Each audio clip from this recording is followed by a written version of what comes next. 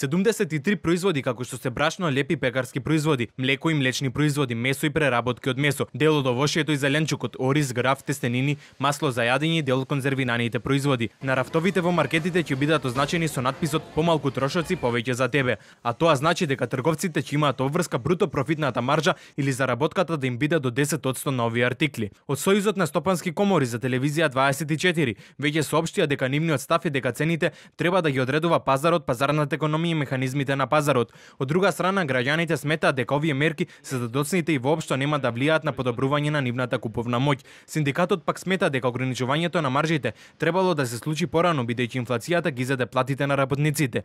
На крајот на овој месец на сила треба да стапи законот за нефер трговски практики, кој треба да ја ограничи маржата на околу 2.500 производи.